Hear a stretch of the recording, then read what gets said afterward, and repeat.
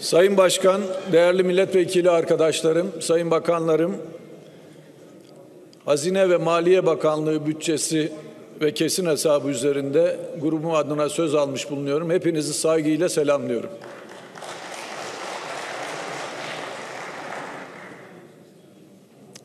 Ee, sabah e, sabah iğrenç bir konu üzerinde e, görüşmelere başladık ama bütün grupların bu konuda en fikir olması, bu konuyla ilgili olarak toplumun ahlaki değerlerinin e, yıpranmamasına, göz yumulmaması konusunda en fikir olması güzeldi. Aslında birçok konunun siyasete karıştırılmaması lazım. Yani birçok konuyu bizim siyasi olarak kutuplaşmış siyasete alet, alet etmememiz lazım. Bu güzel bir örnekti ama keşke diğer konularda da e, günlük siyasete alet etmeden sorunları çözebilsek. Mesela yıllardır ben Hazine ve Maliye Bakanlığı bütçelerinde hem genel kurulda hem de Plan ve Bütçe Komisyonu'nda konuşuyorum. Ekonomi ve maliye politikaları konusunda. Samimi söylüyorum. Ee, sorunları, sıkıntıları dile getiriyoruz. Ancak her sene her sene bir önceki yıldan daha fazla sorunla, sıkıntıyla karşı karşıya kalıyoruz. Bunu samimi olarak ifade ediyorum, üzülüyorum. Üzülüyorum bu sorunların çözülmemesi, her sene katlanarak gelmesinden dolayı üzülüyorum. Şimdi bakın bu senede e, geldik Hazine ve Maliye Bakanlığı bütçesi üzerinde konuşuyoruz. Enflasyon geçen seneye göre kat kat artmış. Geçen yıl bu tarihlerde yüzde on dokuz küsur olan enflasyon bugün yüzde seksenlerin üzerinde resmi rakam olarak.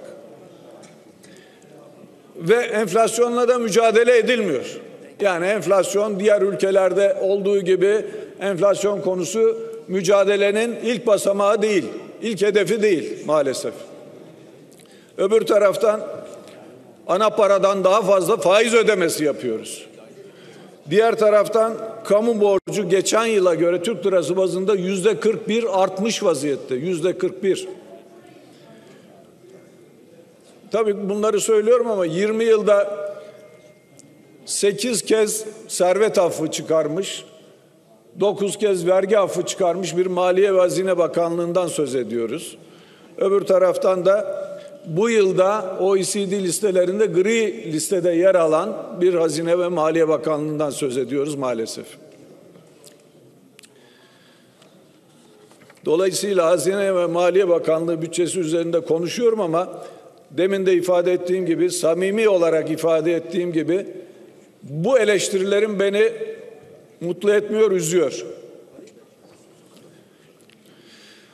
Değerli arkadaşlar, Teşkilat Kanun hükmünde kararnamesine göre Maliye ve Hazine Bakanlığı'nın görevleriyle ilgili görevlerini belirleme yetkisi maalesef yok. Sadece o Cumhurbaşkanlığı tarafından belirleniyor. Maliye ve Hazine Bakanlığı bunun uygulayıcısı durumunda. Katkıda da bulunuyorlar görevlerinin belirlenmesine ama görevlerini belirleyen Cumhurbaşkanlığı kendileri uygulayıcı bir bakanlık durumunda. Onun için eleştirilerimin bir kısmı uygulamaya yönelik olduğunda doğrudan e, Sayın Bakan'la ve ekibiyle ilgili. Ancak eleştirilerimiz ağırlıklı olarak Cumhurbaşkanlığı ile ilgilidir.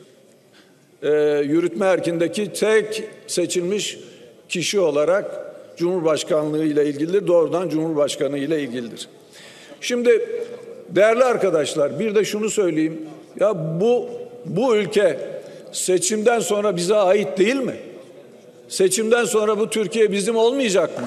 Bu ülkede yaşamayacak mıyız? Bunu neden söylüyorum ya? Şimdi yıkım politikaları izleniyor neredeyse. Yani bunu samimi söylüyorum. Seçim politikaları izlenir. Bakın her ülkede seçim politikaları izlenir. Bunu makul karşılıyorum ama bunlar seçim politikası değil yarın seçimden sonra ya da seçimden önce bilmiyoruz tam olarak ülkenin ekonomi ve maliye politikalarının yıkılması anlamına gelecek, ülkenin yıkılması anlamına gelecek politikalar izleniyor. Kur baskılanıyor, faiz baskılanıyor, e, bankalar, bankacılık işlemleri baskılanıyor. Borsa manipüle ediliyor. Merkez Bankası bağımsızlığını yitirmiş vaziyette. Merkez Bankası manipüle ediliyor. TÜİK manipüle ediliyor. TÜİK'in e, politikaları, rakamları görüyorsunuz ne vaziyette. Şimdi mevzuat aynı şekilde, kamu ihale kurulumu aynı şekilde aklınıza ne gelirse, özelleştirme idaresi vesaire hepsi. Şimdi bu vaziyette e, yarın seçimden sonra Türkiye bizim değil mi? Bu ülkede yaşamayacak mıyız? Nasıl bu politikalar izlenir ben onu anlayamıyorum. Gerçekten de bugünü kurtaralım, seçime kadar götürelim ondan sonra Allah kerim. Böyle bir politika olamaz arkadaşlar.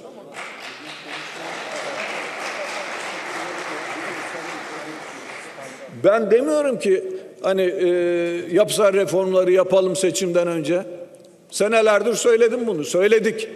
Yapısal reformlar yapılsın, yapılsın, yapılsın. Tamam yapılmadı. Anlıyorum seçimden önce de yapılamaz. Yapmazsınız. Kimse yapmaz. Ama bu tür politikalarda izlenmez. Gerçekten izlenmez. Yani e, şimdi yavaş yavaş anlatacağım. Bu politikalar ülkeye çok çok zarar veren, sıkıntı veren politikalar. Yarın yarın bu, bunlardan dönüş kolay kolay olamayacak. Çok daha büyük sıkıntılara düçar olacağız maalesef öyle görünüyor. Kamu mali yapısı ki bugün e, ekonomiyle ilgili, maliye ile ilgili birçok kurumu gözden geçireceğiz. Politikaları gözden geçireceğiz. Kamu mali yapısı çökmüş vaziyette.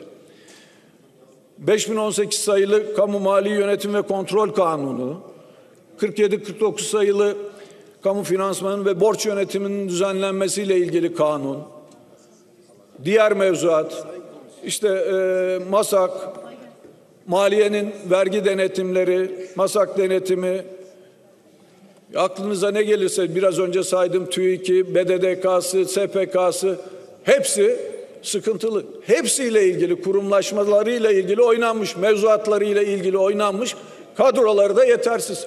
Şimdi kadroları yetersiz, kurumlarla oynanmış diyorum. Bir örnek vereyim. Sayın Bakanım, ek bütçeye göre, şey e, bütçeye göre bütçe açığı 278 milyardı bu yıl içerisinde 2022'de.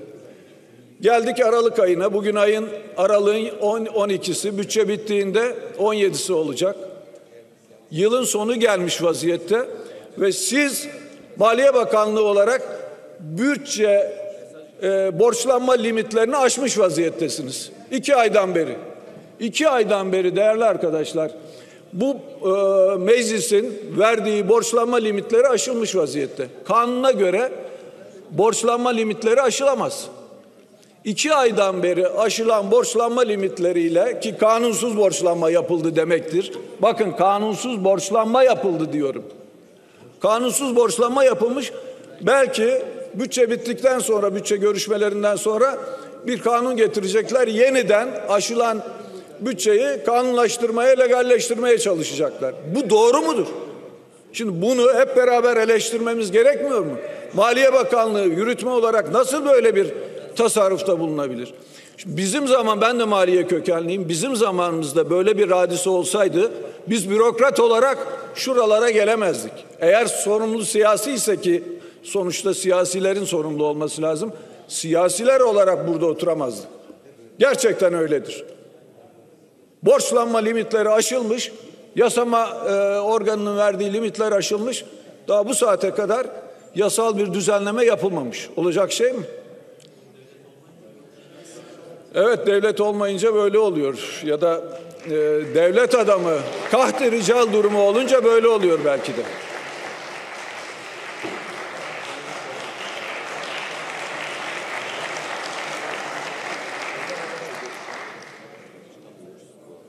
Yine bu konuya girmişken belirteyim nakit dengesine göre de 60 milyar, e, milyar lira hazine açık vermiş Ocak-Kasım döneminde. Halbuki bakıyorsunuz rakamlara 350 milyar borçlanmış e, hazine.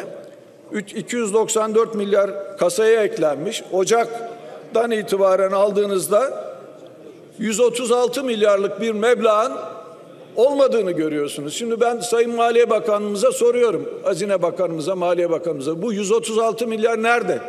Nerede kullanıyorsunuz bunu?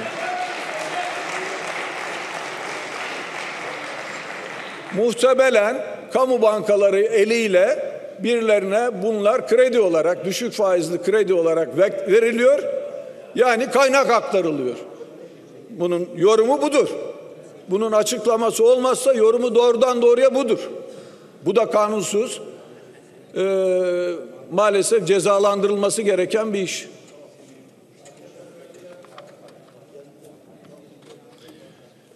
Şimdi değerli arkadaşlar, bir de unutmadan söyleyeyim, yurt dışında Türk vatandaşlarına ait önemli meblalar var. Türkiye'ye son yıllarda çok büyük paralar girdi. Özellikle 2000'li yıllarda son 20 yıldan beri, 23 yıldan beri çok büyük meblalar e, girdi. Dünyada en fazla nakdin olduğu, likidin olduğu, borçlanma imkanlarının yüksek olduğu, faizlerin düşük olduğu bir dönem yaşadık. O dönemde Türkiye'de çok borçlandı. Türkiye'ye çok büyük kaynak girişi oldu. Peki şu anda para var mı? Döviz var mı ülkede? Yok. Sıkıntısı var. Görüyorsunuz nasıl baskılanıyor. Bir kuruş için neler yapılıyor ülkelere e, yalvarılıyor neredeyse. Şimdi bu vaziyete geldi. Peki bu dövizler nerelere gitti? Buradan döviz kazanan Türk vatandaşları, bazı vatandaşlar bunları yurt dışına götürdü.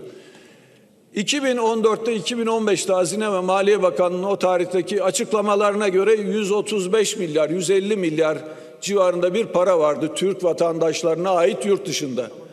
Şimdi bu meblağ ne kadar oldu? Birçok kaynağa göre bunun 200, 300, 500 milyar olduğu ifade ediliyor. Sayın Maliye ve Hazine Bakanı'ndan soruyorum.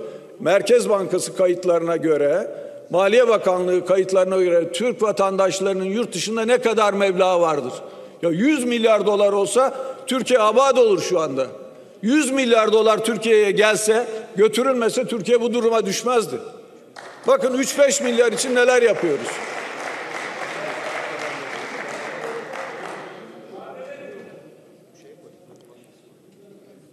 Şimdi devletten devlete borç dönemi, borç alma dönemi kapandı. Artık devletler arasında değil de uluslararası küre, küresel mekanizmalar vasıtasıyla borçlanılıyor biliyorsunuz. Ama biz oralardan borçlanamıyoruz ya da borçlandığımız zaman dolar bazında 9'la 10'la borçlanıyoruz. Yok çok yüksek maliyetlerle borçlanıyoruz ama bazı devletler, bazı ülkeler bize küçük meblalar 3-5 milyar e, veriyorlar. Onlarla idare ediyoruz. Seçime kadar böyle idare edecekmişiz. Bunun şartları nedir? Neden bize bunları bunlar veriliyor? Hangi koşullarda veriliyor? Neden bu kadar pahalıya veriliyor? Siyaseten ne alınıyor? Bunların sorulması lazım. Sayın Maliye Bakanı'na bunları da soruyorum.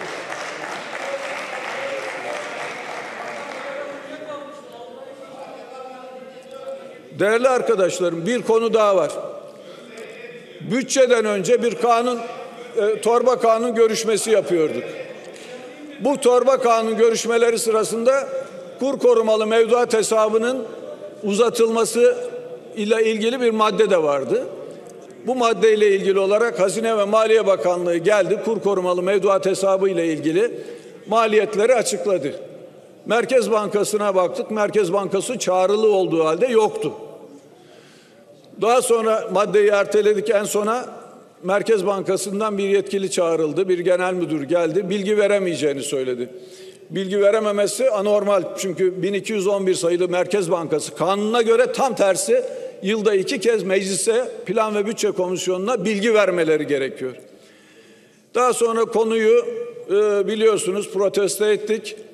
E, biz muhalefet partileri olarak ayrıca ben konuyla ilgili olarak sözcü sıfatıyla meclis başkanımıza da durumu bildiren bir mektup yazdım. Anlattım. O da meclis görüşmeleri sırasında Plan ve Bütçe Komisyonu'nda geldi. Dedi ki Merkez Bankası Başkanı'yla görüştüm. Kendisi 2 Aralık'ta gelecek size briefing verecek. Sorularınıza da cevap verecek. O konuyla ilgili de cevabını verecek dedi. Duruyor şey tutanaklarda da var. Sayın Hazine ve Maliye Bakanı da konuyla ilgili olarak sorduğumuzda gelecek Merkez Bankası bilgi verecek dedi. Evet 2 Aralık'ta geldiler Merkez Bankası briefing vermeye geldi. Öncelikle bu konu vardı gündemde. Bu konuyla ilgili 1211 sayılı kanuna göre Merkez Bankası Başkanı da bilgi veremeyeceğini söyledi. Bakın tarih boyunca şimdiye kadar olmamış bir şey. Hiçbir şekilde Plan ve Bütçe Komisyonu'ndan, meclisten bu tür bilgiler saklanmaz. Gizliliği de yok. Hiçbir kanunda bu tür bilginin verilemeyeceği yok. Vermiyoruz dediler.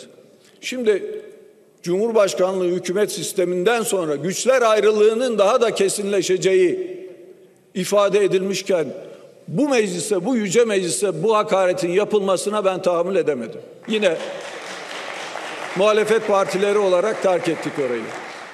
Olacak şey değil.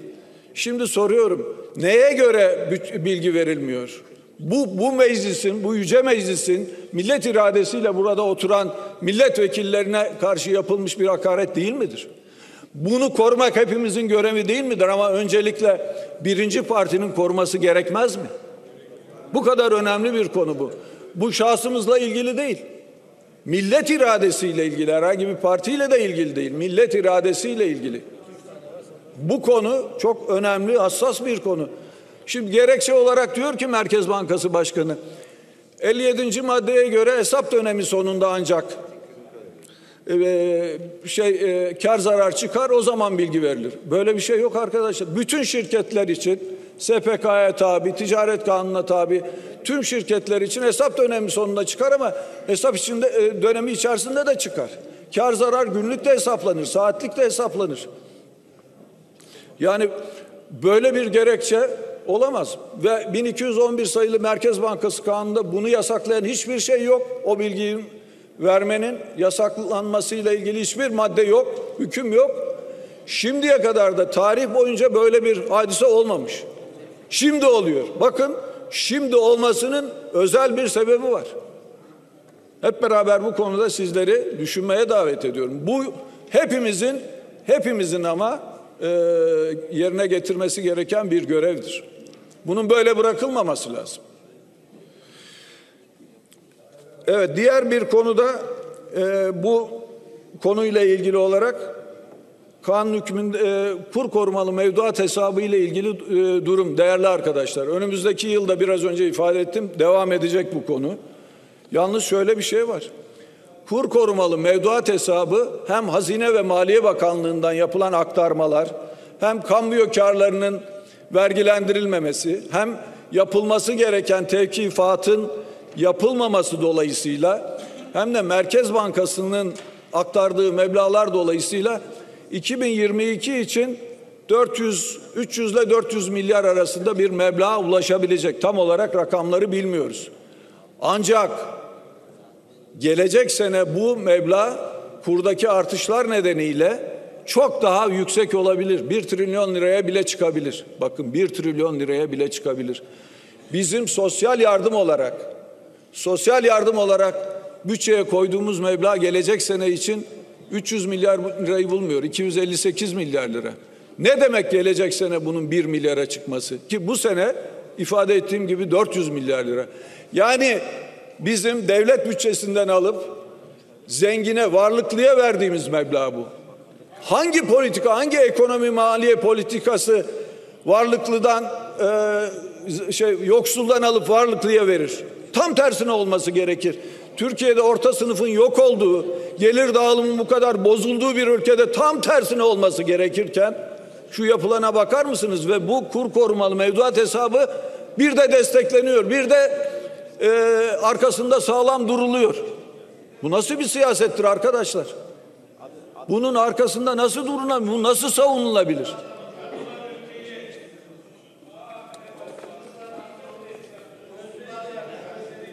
Şimdi değerli arkadaşlar aslında Maliye Bakanlığı deyince, hazine deyince konuşmamız gereken Hazine ve Maliye Bakanlığı'nın borçlarıdır.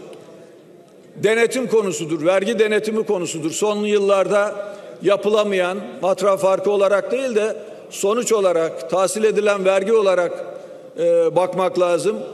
Bu konulardır. Mükellef sayısının net olarak artışıdır. E, vergi mevzuatında yapılması gereken reformlardır. Bunları konuşmamız gerekirken bakın neler konuşuyoruz görüyor musunuz? Ne kadar anormal konular konuşuyoruz. İşte biraz önce söylediğim gibi kamu mali yönetiminde kurumlaşma, mevzuat, kadro Buyurunuz Sayın Kuşoğlu. kamu mali yönetimde bir yıkım söz konusudur maalesef ve bu yıkım seçimden sonra ya da seçim civarında çok daha net olarak ortaya çıkacaktır. Yarın iktidarda kim olursa olsun ama bu hepimizin üzerine, bu ülkede yaşayan herkesin üzerinde bir yüktür. Bu politikalar yanlıştır. Tekrar uyarıyoruz. Yıllardan beri uyardığımız gibi bu politikaların bu ülke düşünülerek Teşekkür ederim arkadaşlar. Bu ülkeyi düşünerek bu yıkım politikalardan vazgeçilmesi gerekiyor. Ben Hazine ve Maliye Bakanımızı uyarıyorum. Ee, kendisi vasıtasıyla Cumhurbaşkanlığını uyarıyorum. Bu politikalardan vazgeçilsin. Bir an önce makulü tüm dünyanın uyguladığı politikaları uygulamaya başlayalım. Oralarda nasıl enflasyon daha makul seviyede, seviyedeyse borç